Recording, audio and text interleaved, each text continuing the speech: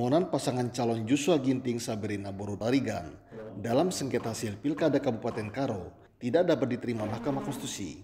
Demikian dinyatakan Mahkamah Konstitusi dalam sidang pengucapan putusan yang dipimpin Ketua MK Anwar Usman.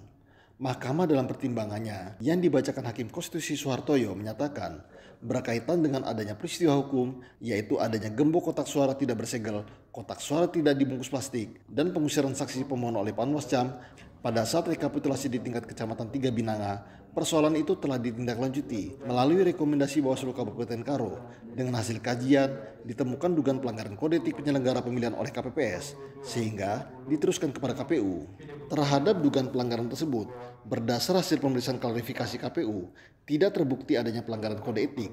Di samping itu, Mahkamah juga tidak mendapatkan fakta yang meyakinkan bahwa peristiwa hukum tersebut berpengaruh pada perubahan perolehan suara untuk masing-masing pasangan calon dalam pemilihan bupati dan wakil bupati Kabupaten Karo.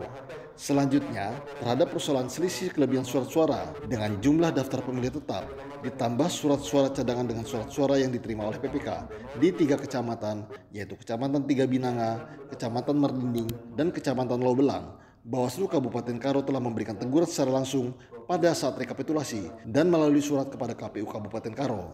Persoalan ketidaksesuaian jumlah surat suara dengan DPT tersebut telah pula dilakukan perbaikan di masing-masing tingkat kecamatan pada saat rekapitulasi dan surat suara yang lebih atau tidak digunakan dimasukkan kembali ke dalam kotak suara dan telah dicatatkan. Dengan pertimbangan tersebut, tidak ada alasan hukum bagi mahkamah untuk menyimpangi syarat ambang batas selisih suara untuk dapat mengajukan permohonan sengketa hasil pilkada.